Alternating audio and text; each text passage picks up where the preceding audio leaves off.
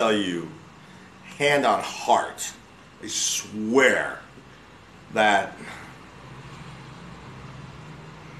Whew, You actually this- have to try to open your nasal Oh, look, passages. look, look! It's it's it's giving me goose goosebumps. Look look at the skin on, it, on my arm. It um smells exactly like you know the funk like in between your groin when it's like all slimy. Like you haven't like you know you've been running around all day in Bangkok heat, you know, and then you come home and it's got like that super funk.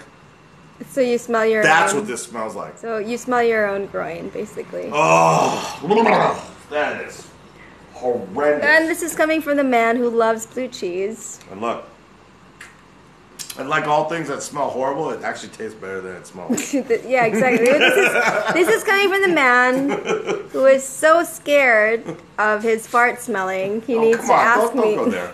Come on, don't go there. There's no need for that. That's Well, but you already went there when you when you already um, compared the smell of that to the smell of my slimy groin. yes. Yeah. All right. Anyway, So this is going up on YouTube for public. we're gonna right? make we're gonna make